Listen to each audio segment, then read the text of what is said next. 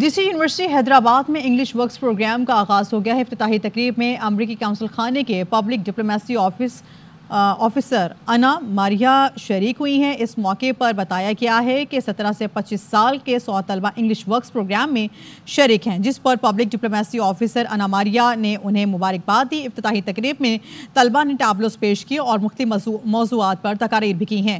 Public diplomacy officer کا کہنا تھا کہ چھ ماہ کا انگلش ورکس پروگرام امریکی حکومت کی مالی اناج سے شروع کیا گیا، جس کے ذریعے طلبہ کو انگریزی زبان کی مہارت، ملازمت کی تیاری کی تربیت اور عالمی تنازع سے آراستہ کیا۔ کیا جاتا ہے تاکہ مسابقاتی جاب مارکٹ میں آگے بڑھ سکیں۔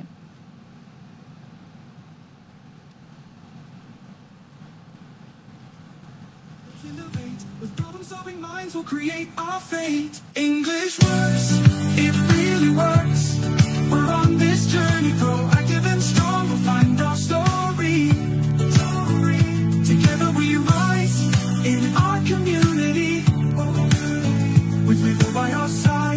will make his